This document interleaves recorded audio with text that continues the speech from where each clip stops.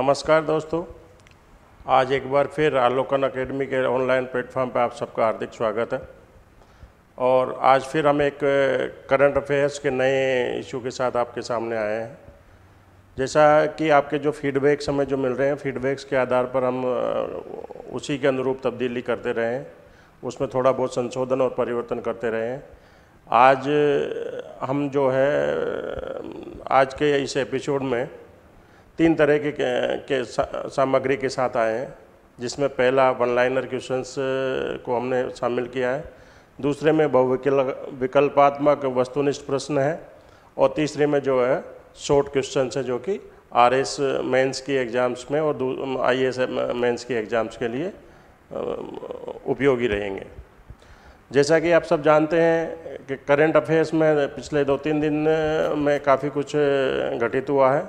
और उसी को लेकर के आज हम फिर उस पर चर्चा करने के लिए आपके समक्ष हैं।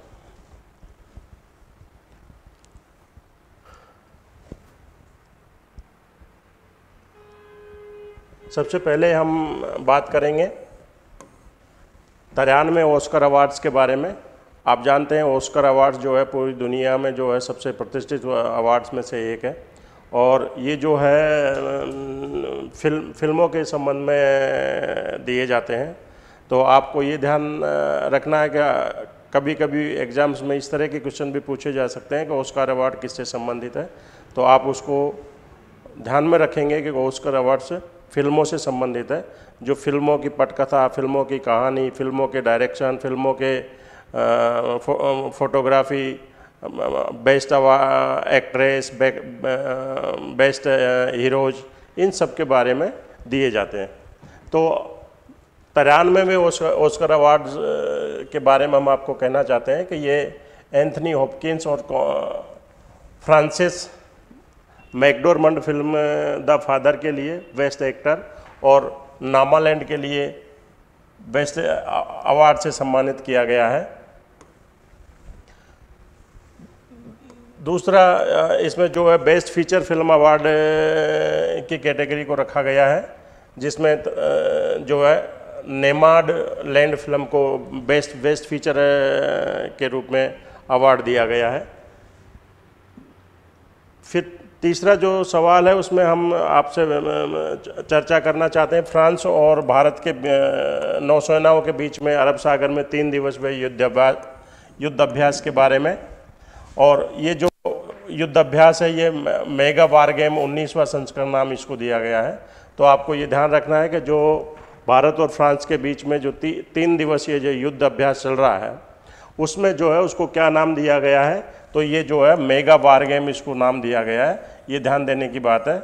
और ये जो है ये इसका जो है उन्नीसवा संस्करण है। उन्नीसवा संस्करण से मतलब है भारत और फ्रांस के बीच में समय समय पर युद्ध अभ्यासों की एक श्रृंखला चल चली आ रही है। तो ये जो उस उसी उसी सीक्वेंस में जो है उन्नीसवा युद्ध अभ्यास है भारत और फ्रांस के बीच में। चौथा जो वन लाइनर जो प्रश्न है वो यूनिसेफ से जुड़ा हुआ है। और जैसा कि आप जानते हैं कि भारत में कोरोना की जो भयावहता जो चल रही है को, कोरोना का जो प्रकोप चल रहा है उसके संबंध में यूनिसेफ ने भारत की प्रतिरोधक क्षमता बच्चों में बढ़ाने के लिए टीकाकरण के संदेश को व्यापक स्तर पर फैलाने के लिए अभिनेत्री और पूर्व मिस इंडिया मानसी खुल्लर को ब्रांड एम्बेसडर के रूप में चुना है, जो कि बच्चों बच्चों के बीच में कोरोना की जागरूकता फैलाने और कोरोना के संबंध में जो एहतियातन जो कदम उठाने हैं, उसके बारे में वो बच्चों को जागरूक करेगी। तो ये जो है, ये यूनिसेफ की तरफ़ से जो है मानसी खुल्लर जो है ये ब्रांड एम्बेसडर इनको बनाया गया है और ये जो है पूर्व मिस इंडिया और जानी मानी फ़िल्म अभिनेत्री है बॉलीवुड की। चौथा, पांचवा जो प्रश्न है, वो भारतीय रिज़र्व बैंक से आरबीआई से जुड़ा हुआ है और आंकड़ों और अन्य की जानकारी के रखरखाव के नियमों के उल्लंघन को लेकर आरबीआई ने, भारतीय रिज़र्व बैंक ऑफ़ इंडिया ने अमेरिका के दो बैंकों को प्रतिबंधित किया है। इनमें पहला जो बैंक है वो अमेरिकन बैंकों में पहला American Express bank banking corporation है, जिसको प्रतिबंधित किया है। और दूसरा है डाइनस क्लब इंटरनेशनल लिमिटेड को भी आरबीआई ने प्रतिबंधित किया। तो ये ध्यान देने की बात है कि आरबीआई ने, भारतीय रिज़र्व बैंक ने अमेरिका के दो बैंकों पहला अमेरिकन एक्सप्रेस बैंकिंग और दूसरा डायनस क्लब इंटरनेशनल को जो है प्रतिबंधित किया है जो नए ग्राहकों को जोड़ने पर ये प्रतिबंध रहेगा। ये जो है आरबीआई की आ, आगे की जो गाइडलाइन है उसके बिना या बिना आरबीआई के निर्देशों के ये अपने ग्राहकों को भारत में नहीं बढ़ा पाएँगे और अपनी जो है बैंकिंग को उसी कैटेगरी में सम, प्रतिबंधित रखेंगे। तो आज के हमने जो है पाँच प्रश्नों के बारे में बात की। पहले ऑस्कर अवार्ड से संबंधित है। इसको एक बार हम फिर दोहरा लेते हैं, क्योंकि ये अक्सर सवाल पूछे जाते हैं। तो इसमें जो बेस्ट बेस्ट एक्ट्रेस है, वो एंथनी होपकिंस है, और बेस्ट जो फ़िल्म है, वो नेमारलैंड है। दूसरा जो है भारत और फ्रांस के की नौसेनाओं के बीच में, अरब सागर में तीन दिवसीय युद्ध अभ्यास चल रहा है, जिसको मेगा वार गेम नाम दिया गया है। ये इसका उन्नीसवां संस्करण है। यूनि इससे अगला जो प्रश्न है, उसमें यूनिसेफ ने भारत में बच्चों की प्रतिरोधक क्षमता को बढ़ाने वाले टीकाकरण के संदेश को व्यापक स्तर पर फैलाने के लिए अभिनेत्री और पूर्व मिस इंडिया मानसी छिल्लर को जो है ब्रांड एम्बेसडर चुना है। पांचवा जो सवाल है, उसमें आरबीआई ने जो है अमेरिका के दो बैंकों को प्रतिबंधित किया है और वो नए ग्राहक नहीं आरबीआई की अगली गाइडलाइन तक नए ग्राहक नहीं जोड़ पाएँगे। अब हम वस्तुनिष्ठ प्रश्नों पर चर्चा करेंगे। जैसा कि एग्ज़ाम्स में पूछा जाता है बहु विकल्पात्मक प्रश्न है, वो ये सारे के सारे जो प्रश्न हैं, वो सब इंस्पेक्टर के लिए, रीट के लिए, या आप कहें, कॉलेज लेक्चर्स के लिए, ये सारी जो आरपीएससी की और आरएसएस भी और दूसरे स्टेट्स की जो पब्लिक सर्विस के जो एग्ज़ाम होती है, उसके लिए ये सवाल बहुत ज़रूरी है।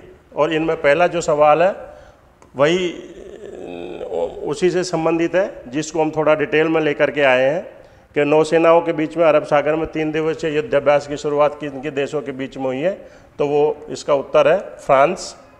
और इसको अगर हम डिटेल में देखते हैं तो भारत और फ्रांस की नौसेनाओं ने रविवार को अरब सागर में तीन दिवसीय युद्ध अभ्यास की शुरुआत की है। ये युद्ध अभ्यास हिंद महासागर में चीन की बढ़ती मौजूदगी से उत्पन्न चिंता की पृष्ठभूमि में हो रहा है।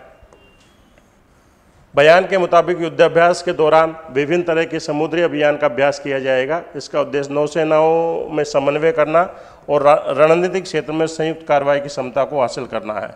ये आप जानते हैं कि चीन भारत के साथ बार बार और मौके मौके पर जो है भारत को लिए प्रॉब्लम्स क्रिएट करता रहता है। उसी को संदेश देने के लिए, चीन को संदेश देने के लिए भारत ने फ्रांस के साथ ये संयुक्त अभ्यास किया है, जिसमें ये मैसेज देने की कोशिश की जा रही है, ये संदेश दिया जा रहा है कि अगर ज़रूरत पड़ी तो फ्रांस भारत के साथ आकर के युद्ध संयुक्त रूप से उसका मुकाबला करेगा। अगला जो प्रश्न है, वो शास्त्रीय संगीत से जुड़ा हुआ प्रश्न है। और इसमें जो है हिंदुस्तानी शास्त्रीय संगीत के जो दिग्गज हैं, वो अभी कोरोना की चपेट में आने से उनका निधन हुआ। तो ये कौन है जो कि हिंदुस्तानी शास्त्रीय संगीत से जुड़े हुए हैं और कोरोना की चपेट में आने से उनकी मृत्यु हुई है? तो ये इनका पहला ऑप्शन है राहुल सचदेवा, दूसरा है मोहन पंडित, तीसरा है राजन मिश्रा, चौथा है अनिल मिश्रा। तो इसमें सही जो उत्तर है वो है राजन मिश्रा। और राजन मिश्रा जी को जो है पद्म भूषण से सम्मानित किया गया है और ये 25 अप्रैल 2021 को इनका निधन हुआ है। वे 70 साल के थे, बनारस राजघराने से संबंध रखने वाले। राजन मिश्रा भारत के प्रसिद्ध शास्त्रीय गायक थे।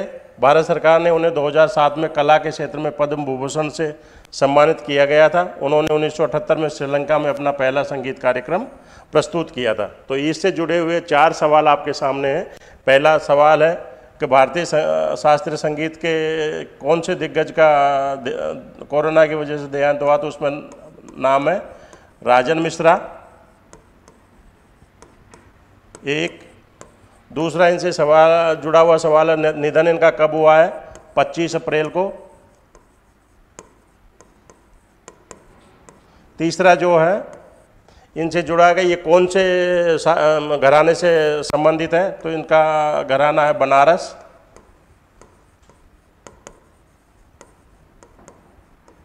चौथा जो है, इन्हें कद, कब पद्म विभूषण सम्मान दिया गया तो वो 2007 में। और इन्होंने पहला प्रोग्राम कब प्रस्तुत किया? ये 1978 में श्रीलंका में। तो ये राजन मिश्रा जी से चार, जुड़े हुए चार सवाल हैं। पहला है कि ये हिंदुस्तानी शास्त्रीय संगीत के दिग्गज माने जाते हैं, जिनका 70 साल की उम्र में देहांत हुआ। कोरोना की वजह से इनका देहांत हुआ। इनका जो देहांत है वो 25 अप्रैल 2021 को हुआ। ये किस घराने से संबंधित है? ये बराना बनारस घराने से संबंधित है। इनको पद्म विभूषण कब दिया गया? 2007 में दिया गया। इन्होंने पहला कार्यक्रम कहाँ पे प्रस्तुत किया? श्रीलंका में प्रस्तुत किया। कब प्रस्तुत किया? 1978 में प्रस्तुत किया।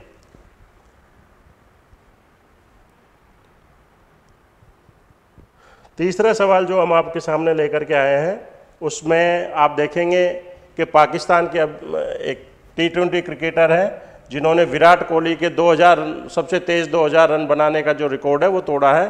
तो उस खिलाड़ी का नाम क्या है?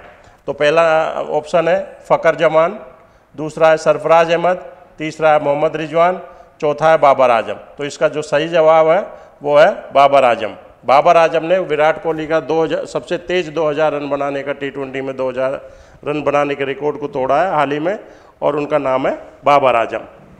बाबर आज़म ने टी ट्वेंटी क्रिकेट में 2000 रन पूरे कर लिए हैं और वो क्रिकेट के सबसे छोटे प्रारूप मतलब 2020 प्रारूप में इंटरनेशनल लेवल पर सबसे कम पारियों में ये कमाल करने वाले दुनिया के पहले खिलाड़ी बन गए हैं। बाबर आज़म ने अपने 2000 रन सिर्फ़ बावन पारियों में पूरे किए हैं और विराट कोहली को पीछे छोड़ा है। विराट कोहली ने ये कमाल छप्पन पारियों में किया था। अब बाबर आज़म, विराट कोहली को पीछे छोड़कर पहले नंबर पर आ गए। तो ये जो इससे जुड़े हुए चार सवाल हैं, पहला सवाल है कि 2000 सबसे तेज 2000 रनों का जो रिकॉर्ड किसके नाम है? बाबर आज़म के नाम। बाबर आज़म किस देश के खिलाड़ी हैं? पाकिस्तान के। किसका रिकॉर्ड तोड़ा है? कोहली का। विराट कोहली का। विराट कोहली कहाँ के हैं? भारत के। और कितनी पारियों में रिकॉर्ड तोड़ा है? बावन पारियों में। विराट कोहली का कितना रिकॉर्ड था? छप्पन पारियों का। तो ये जो है, इससे जुड़े हुए छह सवाल आपके सामने बनते हैं, जो कि आपको ध्यान में रखना चाहिए। अगला हमारा जो सवाल है, वो बौद्धिक संपदा दिवस से संबंधित है। निम्न में से किस दिन बौद्धिक संपदा दिवस मनाया जाता है? और इसका जो ऑप्शन है, पहला 26 अप्रैल, दूसरा 15 जनवरी, तीसरा 12 अप्रैल और चौथा है 20 मई। तो इसका सही जो उत्तर है, वो है ए 26 अप्रैल। तो विश्व बौद्धिक संपदा दिवस कब मनाया जाता है? 26 अप्रैल को। प्रत्येक वर्ष 26 अप्रैल को विश्व भर में विश्व बौद्धिक संपदा दिवस, वर्ल्ड इंटेलेक्चुअल प्रॉपर्टी डे मनाया जाता है। विश्व बौद्धिक संपदा दिवस, नवाचार और रचनात्मकता को बढ़ावा देने में बौद्धिक संपदा अधिकारों और पेटेंट, ट्रेडमार्क, औद्योगिक डिज़ाइन, कॉपीराइट की भूमिका के बारे में जागरूकता फैलाने के लिए मनाया जाता है। नेक्स्ट जो सवाल है, पांचवा वो स्टार्टअप से लेकर के है। आप जानते हैं, युवाओं में स्टार्टअप का एक नया क्रेज चल रहा है। इसी को देखते हुए हमने इसको शामिल किया है। भारत में तकनीक आधारित स्टार्टअपों को बढ़ावा देने के लिए किस देश के साथ गठजोड़ किया है? पहला है चीन, दूसरा है सिंगापुर, तीसरा है रूस, चौथा है जापान। तो इसमें सही उत्तर है, पहला सॉरी, दूसरा सिंगापुर। भारत ने सिंगापुर के साथ तकनीकी स्टार्टअप्स को स्टार्ट करने के लिए एक गठजोड़ किया है, समझौता किया है, और वो जो है भारत के तकनीकी आधारित स्टार्टअप को बढ़ावा देने के लिए सिंगापुर के साथ गठजोड़ किया है। इस कवायद का मकसद Singapore Indian chamber of commerce and industry SICCI की क्षमताओं का लाभ उठाने के लिए स्टार्टअप को प्रोत्साहित करना है। एक संयुक्त बयान के मुताबिक दोनों संस्थान युवा स्वदेशी प्रतिभाओं को आगे बढ़ाने के लिए सहयोग कर रहे हैं। ये जो है इसका मुख्य मोटो है, मुख्य उद्देश्य है। नेक्स्ट जो सवाल है, छठा नंबर का जो सवाल है, वो राष्ट्रीय अंतर्राष्ट्रीय विमानों पर प्रतिबंध से संबंधित है। किस देश ने भारत से आने वाले सभी राष्ट्रीय अंतर्राष्ट्रीय विमानों पर प्रतिबंध लगा दिया है? और ये कोरोना की वजह से प्रतिबंध लगाया है। पहला है नेपाल, दूसरा है पाकिस्तान, तीसरा है बांग्लादेश और चौथा है यूएई। यूएई ने जो है, भारत के साथ सारी जो उड़ाने हैं, वो अभी अगले आदेश तक जो है, स्थगित कर दी है। संयुक्त अमर अमीरात ने कोरोना वायरस की खराब स्थिति को देखते हुए 25 अप्रैल 2021 से 10 दिनों के लिए भारत से यात्रा पर प्रतिबंध लगा दिया है। भारत में कोरोना वायरस संक्रमण के मामले में बेहताशा वृद्धि को देखते हुए यूएई से पहले भी कई देशों ने भारत से यात्रा पर प्रतिबंध लगा दिया है। इसमें आप, आपको हमने पिछले उसमें एपिसोड में बताया था कि दो जो देशों के जो राष्ट्राध्यक्ष हैं, वो भी अपना दौरा कैंसिल कर चुके हैं, एक ब्रिटेन के हैं और दूसरे ऑस्ट्रेलिया के हैं। सातवां जो सवाल है, सातवें सवाल के रूप में हम विश्व मलेरिया दिवस से संबंधित सवाल लेकर के आए हैं। विश्व मलेरिया दिवस वो है, कब मनाया जाता है? तो पहला ऑप्शन है 10 मार्च, दूसरा है 25 अप्रैल, तीसरा है बारह मई और चौथा है 15 जुलाई। तो इसका जो सही उत्तर है वो है 25 अप्रैल। 25 अप्रैल को विश्व मलेरिया दिवस।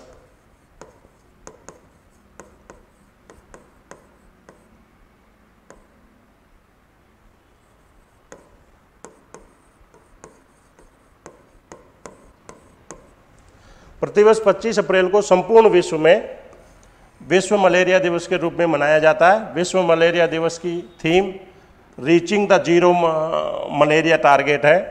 पहली बार विश्व मलेरिया दिवस 25 अप्रैल 2008 को मनाया गया था। यूनिसेफ के द्वारा इस दिन को मनाने की शुरुआत की गई थी। इसको मनाने के पीछे ये कारण है कि हर साल पूरे विश्व में इस रोग से कई लोग जान गंवा देते हैं, लेकिन इसके प्रति आज भी जागरूकता नहीं है। तो ये जो है, इससे जुड़े हुए चार सवाल और आपके सामने इस रूप में आते हैं। कब मनाया जाता है? 25 अप्रैल को। दूसरा, इसका जो थीम क्या है, वो है reaching the zero malaria,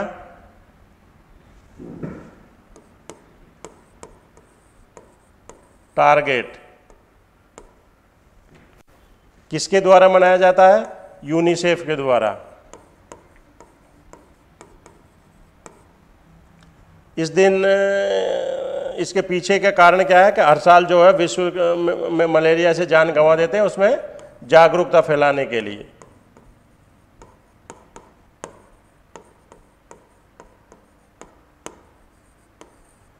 तो ये चार है पच्चीस अप्रैल को विश्व मलेरिया दिवस मनाया जाता है। इसका जो है थीम जो है reaching the zero malaria target है। यूनिसेफ के द्वारा इसकी शुरुआत की गई। कब शुरुआत की गई? 2008 में की गई। और इसका जो उद्देश्य क्या है, वो मलेरिया के प्रति लोगों में जागरूकता फैलाना है। नेक्स्ट जो सवाल है, वो किस देश में पर्यटन मंत्रालय ने हाल ही में अपने बसे हुए द्वीपों पर भारतीय पर्यटकों को रुकने पर रोक लगा दी है? इसमें पहला है मालदीव, दूसरा है श्रीलंका, तीसरा है जापान, चौथा है रूस और इसका सही उत्तर है मालदीव। मालदीव ने जो है भारतीयों के रुकने पर रोक लगा दिया मालदीव पर्यटन मंत्रालय ने अपने बसे हुए द्वीपों पर भारतीय पर्यटकों के रुकने पर रोक लगा दी है। मंत्रालय ने कहा है कि पर्यटन को कम से कम असुविधा के साथ सबसे सुरक्षित बनाने के लिए, हमारे प्रयास में सहयोग करने के लिए हम आपको धन्यवाद देते हैं। ये फैसला भारत ने कोविड 19 की दूसरी लहर के बीच हुआ है। ये जो सारे के सारे जो मैक्सिमम जो भारत पर जो प्रतिबंध लगाए जा रहे हैं, वो कोविड की जो भयावहता है, उसको देखते हुए लगाए जा रहे हैं। आप सबसे आग्रह है कि आप कोविड की गाइडलाइन का फॉलो करें। अब मास्क लगा करके रहें, खुद भी बचें, अपने अपने परिजनों को भी बचाएँ और अपने आस पड़ोस को भी सुरक्षित रखें।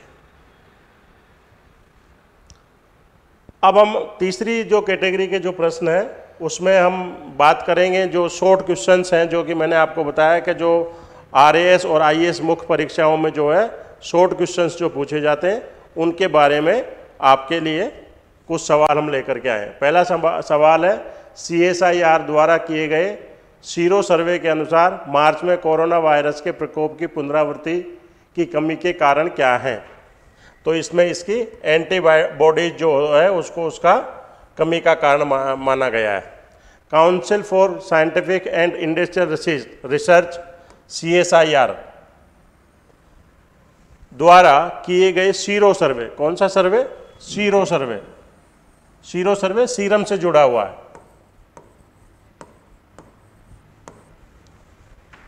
मार्च 20 में सीरो पॉजिटिव लोगों के सार्थक एंटीबॉडी की कमी कोरोना वायरस प्रकोप का कारण हो सकती है। सीएसआईआर ने 17 राज्यों में 10 केंद्र शासित प्रदेशों के 10,427 लोगों पर सीरो सर्वेक्षण किया। इसमें औसत सीरो सकारात्मकता 10.14 प्रतिशत थी। तो ये जो है इसको अगर इसको हम ऑब्जेक्टिव क्वेश्चंस में लेते हैं तो इसमें तीन क्वेश्चन बनते हैं। सीएसआईआर का फुल फॉर्म क्या है? तो council for scientific and industrial research CSI का फुल फॉर्म है। दूसरा ये जो है किस के आधार पर वो किया गया है तो इसको हम उन्होंने सीरो सर्वे का नाम दिया है। और सीरो जो है, सीरम से जुड़ा हुआ टेक्निकल शब्द है। सीरो पॉजिटिव लोगों पर एंटीबॉडी की कमी कोरोना वायरस के प्रकोप का कारण हो सकती है। इसलिए सी एस आई आर ने सत्रह राज्यों, कितने राज्यों? सत्रह राज्यों और दस केंद्र शासित प्रदेशों में ये सर्वे किया। कितने लोगों को उन्होंने सैंपलिंग की? दस हज़ार चार सौ सत्ताईस की सैंपलिंग की और इसकी जो है, सीरो सकारात्मकता की जो का प्रतिशत है वो दस पॉइंट वन फोर है टेन पॉइंट वन फोर है। दूसरा जो प्रश्न है, वो उस चिकित्सा उपकरण का नाम क्या है, जो परिवेशी वायु एबियंट एयर से ऑक्सीजन को केंद्रित करता है। इसका नाम है ऑक्सीजन कॉन्स्टेंटर। ऑक्सीजन कॉन्स्टेंटर, ट्रेटर सॉरी एक ऑक्सीजन कॉन्स्ट्रेटर एक चिकित्सा उपकरण है, जो परिवेशी वायु से ऑक्सीजन को केंद्रित करता है। कोविड महामारी के दौरान रोगियों के इलाज के लिए इसकी अत्यधिक आवश्यकता होती है। ऑक्सीजन कॉन्स्ट्रेटर वायुमंडलीय हवा का उपयोग करता है, जिसमें अठहत्तर प्रतिशत नाइट्रोजन और 21 प्रतिशत ऑक्सीजन होती है। यह इस हवा को एक छलनी के माध्यम से छानता है, नाइट्रोजन को वापस हवा में छोड़ता है और शेष ऑक्सीजन पर काम करता है। ये जो ऑक्सीजन जो हम लिक्विड ऑक्सीजन की जो बात कर रहे हैं, जो पूरे देश में जिसकी किल्लत चल रही है, जिसकी कमी चल रही है, वो जो है, वो उसकी एक प्रोसेस को बताया गया है कि कैसे ऑक्सीजन कॉन्सट्रेटर जो है, वो नाइट्रोजन को अलग करके और ऑक्सीजन को जो है, उसमें अलग करके उसको लिक्विड फॉर्म में तब्दील करता है, परिवर्तित करता है और वो सिलेंडर में भर करके फिर वो चिकित्सा और दूसरे उपकरणों, दूसरे दूसरे उसमें उपयोग में आती है। तीसरा जो सवाल है, वह किस सशस्त्र बल ने लद्दाख इग्निटेड माइंड नामक उत्कृष्टता केंद्र और कल्याण केंद्र को लॉन्च किया है? ये इसका उत्तर है भारतीय सेना, और इसकी जो डिटेल है वो है भारतीय सेना ने प्रोजेक्ट लद्दाख इग्नाइटेड माइंड्स एक उत्कृष्टता और कल्याण का केंद्र शुरू किया है। इसका उद्देश्य लद्दाखी छात्रों के लिए बेहतर शिक्षा अवसर प्रदान करना है। इसके लिए Fire and Fury Corps Hindustan Petroleum Corporation Limited S और कानपुर स्थित NGO, National Integrity and Education Development Organisation के साथ छात्रों को प्रशिक्षण सुविधा प्रदान करने का उद्देश्य रखा है। चौथा इसका सवाल है वो है विश्व प्रतिरक्षण सप्ताह वर्ल्ड इम्यूनाइजेशन वीक की थीम क्या है? वर्ल्ड इम्यूनाइजेशन 2021 की थीम क्या है? Vax vaccines bring us closer vaccines bring us closer 2021 के वर्ल्ड वैक्सीनाइज इम्यूनाइजेशन वीक की थीम है। विश्व प्रतिरक्षण सप्ताह अप्रैल के अंतिम सप्ताह में हर साल मनाया जाता है। इसका उद्देश्य सभी लोगों को बीमारी से बचाने के लिए टीकों के उपयोग को बढ़ावा देना है। गूगल ने विश्व प्रतिरक्षण सप्ताह 2021 की शुरुआत पर स्वास्थ्य कार्यकर्ताओं को धन्यवाद देने के लिए एक डूगल भी बनाया था। नेक्स्ट जो सवाल है, वो जलवायु परिवर्तन से जुड़ा हुआ है। और इसमें आप देखेंगे कि विश्व का सबसे शक्तिशाली जलवायु परिवर्तन पूर्वानुमान सुपर कंप्यूटर किस देश ने बनाया है? इसका नाम है ब्रिटेन। ब्रिटेन ने विश्व का सबसे शक्तिशाली जलवायु परिवर्तन पूर्वानुमान सुपर कंप्यूटर बनाया है और इसकी जो डिटेल है वो है मौसम और जलवायु परिवर्तन के पूर्वानुमान के लिए, दुनिया के सबसे शक्तिशाली सुपर कंप्यूटर के निर्माण के लिए, माइक्रोसॉफ्ट और मेट ऑफ़िस यूके ने हाथ मिलाया है। यह सुपर कंप्यूटर 2022 में चालू होने की संभावना है। विषम मौसम पर सटीक चेतावनी प्रदान करेगा और देश में अत्यधिक तूफ़ान, बाढ़ और बर्फ़ के प्रभाव से बचाने में मदद करेगा। ये जो शक्तिशाली जलवायु पूर्वानुमान के लिए जो सुपर कंप्यूटर है, उसको ब्रिटेन के मेट ऑफ़िस और माइक्रोसॉफ्ट ने मिलकर के बनाने की वो शुरुआत की है। और ये 2022 तक बनेगा। 2022 में इसके चालू होने की संभावना है और ये मौसम की जो है सटीक जो पूर्वानुमान है, उससे संबंधित है, जो कि तूफ़ान, बाढ़ और अत्यधिक बर्फ़ के बारे में मौसम के पूर्वानुमान को अंकित करेगा। छठा जो प्रश्न है, वो है किस देश ने इंटरनेशनल क्लाइमेट फिनेंस प्लान की घोषणा की है, ताकि विकासशील देशों के लिए जलवायु वित्त को दो, दोगुना किया जा सके। ये अमेरिका है। अमेरिका ने जो है इंटरनेशनल क्लाइमेट फाइनेंस प्लान की घोषणा की है और ये विकासशील देशों में जलवायु वित्त को दोगुना करने के लिए उपयोग में आएगा। हाल ही में अमेरिका के राष्ट्रपति जो बाइडन ने US International Climate Finance Plan का अनावरण किया है, जो बाइडेन ने घोषणा की है कि अमेरिका ग्रीन हाउस गैस उत्सर्जन को कम करने में गरीब देशों की मदद करने के लिए सार्वजनिक जलवायु वित्त को दोगुना करेगा और 2005 के स्तर पर 50 प्रतिशत, बावन प्रतिशत उत्सर्जन में कटौती के लिए एक नए लक्ष्य के साथ जलवायु नई जलवायु वित्त योजना जारी की गई है। नेक्स्ट जो सवाल आपके लिए हम लेकर के आए हैं, उसमें किस वित्तीय सेवा कंपनी ने बीओबी फाइनेंस के साथ कॉनक्यूर QR code embedded credit card launch किया है। ये इसका उत्तर है master card Bank of Baroda की क्रेडिट कार्ड शाखा बीओबी फाइनेंशियल और मास्टर कार्ड ने संयुक्त रूप से लघु व्यवसाय आधारित QR code embedded credit card launch किया है। इसे कौन क्यूआर नाम दिया गया है। ये कार्ड धारकों एमएससी को अपने कार्ड का उपयोग करके कैशलेस भुगतान स्वीकार करने में सक्षम बनाता है। छोटे व्यवसाय इस क्यूआर का उपयोग भुगतान करने के साथ साथ सस्ती और सरल प्रक्रिया से भुगतान प्राप्त करने के लिए भी कर सकते हैं। ये बैंक ऑफ़ बड़ौदा और मास्टर कार्ड का संयुक्त उद्यम है। छठा नेक्स्ट जो सवाल आठवां सवाल जो हम आपके सामने लाए हैं वो मा, माउंट अन्नपूर्णा से जुड़ा हुआ है। ये किस देश में है? तो ये नेपाल में है। और ये क्यों क्यों चर्चित हुआ है? ये हमने आपको पिछली जो करंट अफेयर्स की क्लास में इसके बारे में बता चुके हैं। हिमालय में अन्नपूर्णा पर्वत श्रृंखला उत्तर मध्य नेपाल में स्थित है। ये दुनिया की दसवीं सबसे ऊँची चोटी है।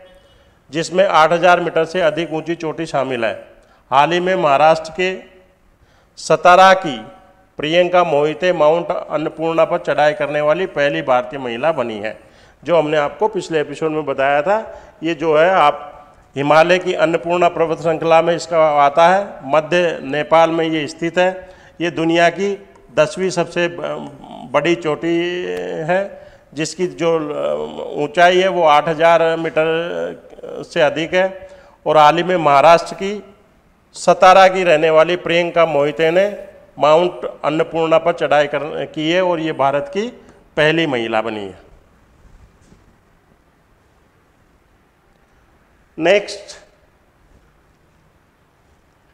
प्रश्न में हमने आपके लिए शामिल किया है, परित्यक्त बच्चों के पुनर्वास के लिए राज्य केंद्र शासित प्रदेश ने हरिहर नीति शुरू की है। किस राज्य ने हरिहर नीति शुरू की है? इसका उत्तर है हरियाणा। हरियाणा मंत्रिमंडल ने Harihar, Homeless Abandoned and Surrendered Children Rehabilitation Initiative Haryana Policy को मंजूरी दी है।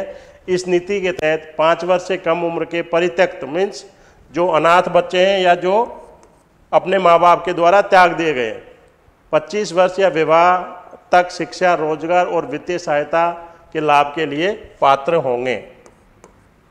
और आज का जो है, अंतिम सवाल जो है आपके लिए हम लेकर के आए हैं कि मानव अंगों के छोटे मॉडल को क्या नाम दिया गया है, जिसमें कई प्रकार की कोशिकाएँ होती है जो मानव शरीर के समान व्यवहार करती है। इसको बोलते हैं टिश्यू चिप्स। टिश्यू चिप्स मानव अंगों के छोटे मॉडल होते हैं, जिनमें कई कोशिका के प्रकार होते हैं, जो मानव शरीर के समान व्यवहार करती है। हाल ही में चार अंतरिक्ष यात्रियों को वाणिज्यिक अंतरिक्ष कार्यक्रम के तहत नासा और स्पेस एक्स के बीच सहयोग के हिस्से के रूप में अंतर्राष्ट्रीय अंतरिक्ष स्टेशन आईएसएस के लिए लॉन्च किया गया है। इस दौरान उनका ध्यान अंतरिक्ष अध्ययन में, टिश्यू चिप्स में अध्ययन की एक श्रृंखला को पूरा करना है। तो ये आज के करंट अफेयर्स के सवाल हैं जो आपके समक्ष हम लेकर के आए हैं। अगली कड़ी में हम पुनः फिर नए सवालों के साथ आपके साथ आएँगे। आपने हमें समय दिया, उसके लिए धन्यवाद और आपसे आग्रह है कि आप अपने फीडबैक हमें निरंतर रूप से देते रहिए ताकि उसी रूप में हम अपने कार्यक्रम को आप तक ला सकें। धन्यवाद।